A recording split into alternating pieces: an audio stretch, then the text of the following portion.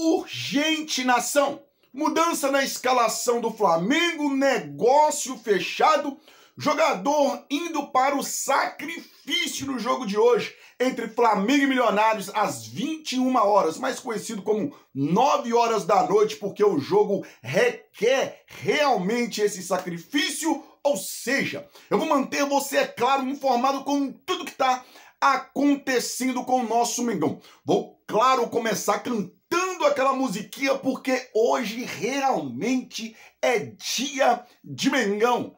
Hoje é dia de Mengão. Hoje é dia de Mengão. Hoje não é dia de Mengão. Hoje é o dia do Mengão. É, meu amigo, vencer, vencer, vencer. Uma vez Flamengo, Flamengo até morrer. Só resta isso, meu amigo. Até porque se o resultado não for esse, deu ruim. Vamos jogar a Série B da Libertadores, que é a Copa Sul-Americana. Isso aí são só para os pequenos. Isso aqui é Flamengo. Somos gigantes, então, claro, temos que continuar na Libertadores da América, mesmo que seja na segunda colocação, até porque para o Flamengo classificar-se na primeira colocação, é, meu amigo, vai ter que acontecer algumas coisas. Primeiro, o Flamengo golear o Milionários no Maracanã, no mínimo por 3 a 0. Daí o palestino tem que vencer o Bolívar lá a 3.460 metros de altitude, sendo que o Bolívar venceu o Palestino por 4 a 0 no campo do Palestino. Então acreditar que o Palestino vai vencer. Eu acredito, eu acredito, por mais que é complicado, mas eu acredito. Pro Flamengo ser primeiro é isso, cara. ser primeiro seria muito importante, até porque na Libertadores da América, os primeiros colocados ficam no pote 1, os segundos colocados ficam no pote 2. Ou seja, se o Flamengo tá aqui no pote 2, terminando na segunda colocação, o Flamengo pode pegar o Bolívar, o River Plate, o Atlético Mineiro, o Palmeiras. É, meu amigo, só que já deu a metade praticamente, tá vendo? Já deu praticamente a metade. Então, assim, não vai ter como correr de uma pedreira, né? Ou torcer aí que Botafogo classifique primeiro para vir Botafogo. Ou, sei lá, um, um Cerro Portenho classifique em primeiro para pegar um Cerro Portenho. Senão vai dar de cara nas oitavas de final. Flamengo e Palmeiras, bum. Flamengo e Atlético Mineiro, pá. Flamengo e River Plate, nu! Flamengo e Bolívar aí também é complicado. Nada contra o Bolívar de pá, mas lá em cima, quase 4 mil metros também é uma sacanagem. Mas enfim, vou falar de jogador indo pro sacrifício, porque Bruno Henrique que não iria jogar essa partida. Claro, ele que estava na transição, tá tudo bem com o Bruno Henrique, tá, gente? Mas ontem ele sentiu um leve desconforto ali no tornozelo e não iria para a partida de hoje, iria somente jogar no próximo final de semana contra o Vasco. Só que o jogo requer sacrifício. E o Tite falou: Bruno Henrique, fica no banco ali. Se precisar, vai que a gente precisa. Vai que tá aquele jogo amarrado, aquele jogo que não, não dá, e coloca você ali, mano, batendo 15 minutos e você decide. Então, sim, Bruno Henrique vai pro jogo Bruno Henrique vai pro sacrifício, nação. Muito importante a gente tá falando isso, né? Até porque, nação, hoje é um jogo de. Cara, hoje é um jogo de. Tem que ir, irmão. Hoje é um jogo que sim, eu tenho que ir na 10%, 20%. Ah, eu só consigo jogar 30%. Então joga 30%, irmão. Mas joga. Hoje não é jogo pro cara ficar em casa jogando videogame, não, irmão.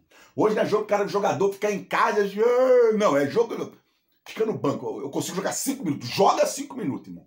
Dá o seu 100% em 5 minutos. Mas hoje é um jogo importante, o jogo mais importante do ano no Flamengo, né, cara? Vale a classificação para as oitavas de final. O Flamengo nos fez chegar nessa situação, né? Na última partida, a gente ter que ganhar, vencer para a gente se classificar, né? Lá quando saiu o sorteio, eu já falei, nossa, vamos fazer 18 pontos pela altitude, talvez pode fazer 16, rola um empatezinho lá.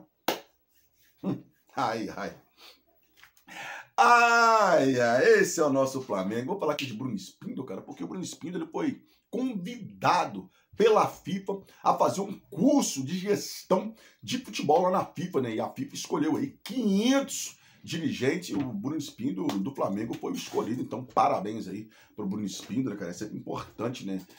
Ter cursos, né? E, claro, representando ali o Flamengo é bem bacana, né? Então, gente, ó, Fabrício Bruno vai ficar no banco.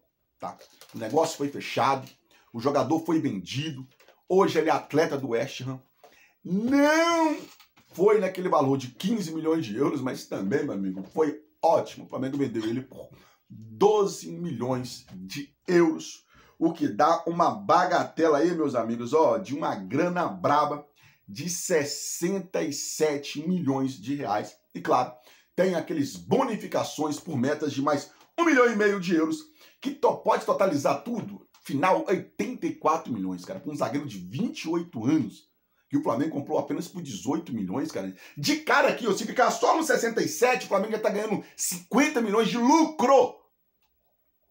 50 milhões de lucro. Então, mano, foi uma venda maravilhosa. E o Flamengo, claro, não vai colocar ele para jogar como titular. A expectativa do Flamengo no decorrer da partida, dependendo do que estiver acontecendo, Flamengo vencendo 4 a 0 que é o meu placar, já falando logo meu placar aqui, 4 a 0 Flamengo. Não, 5 a 0 Flamengo. Pronto. É isso aí. 5 a 0 Flamengo é o meu placar, irmão. 5 a 0 Flamengo é o meu placar. Pronto, falei, acabou. 5 a 0 Flamengo é o meu placar de hoje. Aí, quando tá lá 5 a 0 Flamengo, 4 a 0 Flamengo, aí Fabrício Bruno, vem cá. Aí coloca o Fabrício Bruno para ser homenageado pela torcida, ter uma despedida, até porque ele merece.